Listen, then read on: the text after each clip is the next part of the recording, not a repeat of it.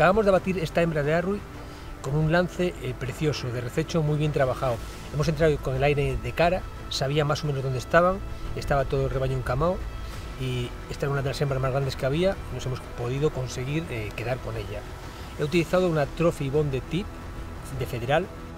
El visor lo tenía puesto en 10 aumentos, cuando he llegado a la distancia eh, de lance he visto que estaba mucho más cerca, lo he bajado a 7, he cambiado la torreta también balística a 100 metros, al final el lance ha sido unos 75 metros, era muy cerca. He tirado apoyado en la, en la horquilla, que para este tipo de, de, montes, donde muchas veces no podemos apoyarnos, es una ventaja auxiliar ideal.